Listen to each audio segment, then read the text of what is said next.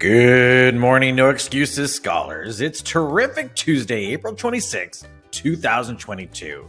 Our brand new college vocabulary word that Miss Michelle introduced is major.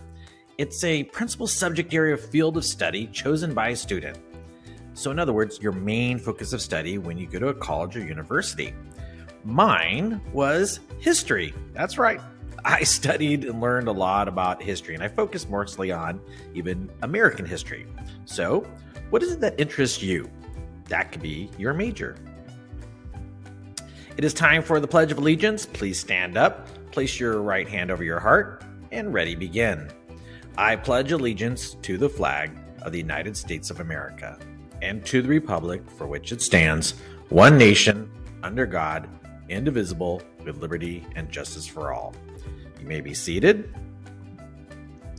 So today we are back to testing. Third grade through sixth grade. We're doing our English language assessments, ELA. So it should be a quiet campus. Uh, primary recess is from 10 to 10:20. Upper grade is 10:22 to 10:40, and the bathrooms by room one and room 13 will be closed during this time. So let's keep it quiet out there and do your best, everyone. That's all we ask. Do your best. Well, we are wrapping up our digital or citizenship. Actually, this Friday, we're going to have our Thursday and Friday, we're going to have our awards assembly and find out who's been a good citizen.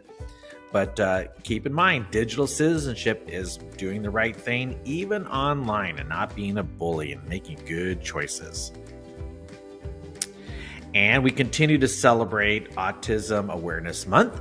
And we've talked about all these things. And basically, awareness is not enough. You need to accept, you need to invite uh, people who are autistic and really learn from them. I learned so much from my own son. I know he's little, but I learned a lot about him and how to communicate with them. So keep that in mind. We want to be not just aware, but also be accepting. All right. Also, just a reminder for the Husky 100 Mile Club Challenge for April.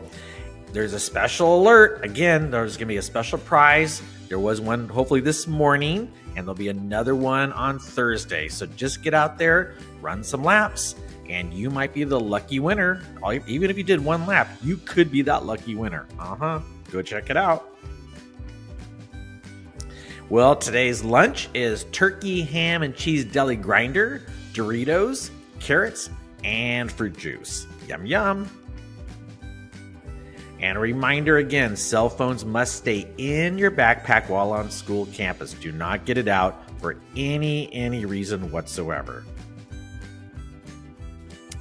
And of course, reminder on Monday we wore NEU shirts. This Thursday, wear your class college colors or the shirts.